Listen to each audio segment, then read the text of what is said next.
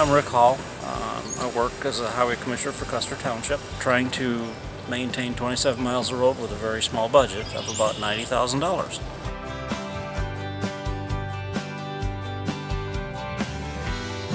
I was looking for a method to try to improve the roads and get them to where they'd hold up and not fall apart.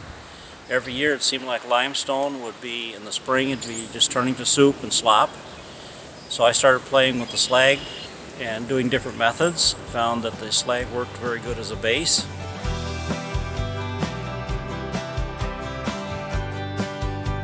I found mixing it into limestone binds it up, makes it very hard, makes a very good surface. And the last couple years we've used steel slag, the very fine material, three quarter to nothing. We've been doing some tar and chipping with it. And with two years in one road, it's held up extremely well um, with no breaking down. Uh, although the road we placed it on, it was recycled grindings, and then we went over top of them grindings the next year with the steel slag incorporated in emulsion. Held up very well.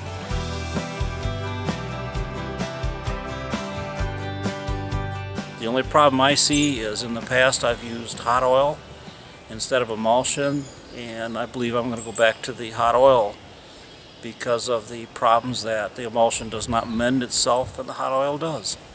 It just bleeds, um, gets soft, you know when the heat hits it, the sun hits it, it gets soft. But with it getting soft, it takes them cracks and melts them back together and it's like putting a band-aid on top and the wound heals.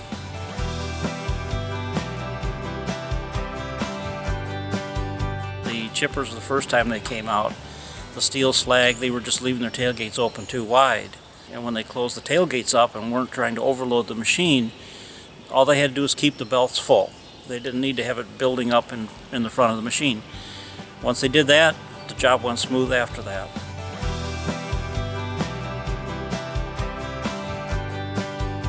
Believe it or not, I actually use a vibratory roller. And once we got it set, we started vibrating it very lightly and very fast. Now, this road that we just came off of, we used a rubber tire roller on that. And that's how they did it. The last job I did, we had a vibratory. Because we, had the, we had the vibratory there already. It was touchy. You had to be very careful with it. We didn't have water on it. So once in a while, if you got a little oil on top, it would start building up on the drum. So that was the only problem we had with it.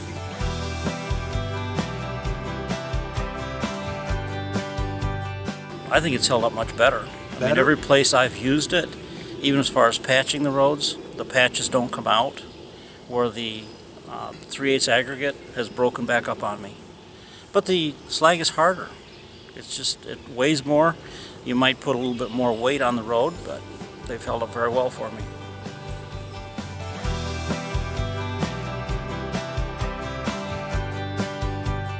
I'm going to do another job this spring. I got a half mile that we're going to do. Like I said, as you as you saw, you came off the road. There's no reason why I wouldn't want to do it.